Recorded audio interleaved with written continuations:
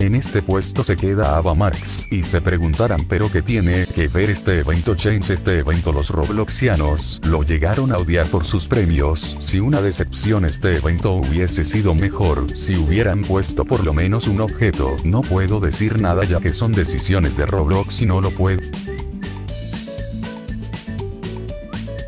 Los Pitufos y la aldea perdida, se queda en el top 2 por sus premios. Los únicos objetos gratis, eran una mochila y creo que un pitufo de hombro, y también había este objeto de la hoja, y el sombrero de los pitufos. Quiero aclarar, que el gorro de los pitufos y la hoja, salían roads el odio de este evento, fue que sus premios eran muy complicados de tenerlos pasemos al siguiente. Puesto 3 NFL también quiero aclarar que los premios de este evento estaban buen hechos pero lo malo es que lo tenías que alquilar no me acuerdo muy bien pero solo te lo daban por 9 días y después te lo quitaban del inventario pasemos al último puesto.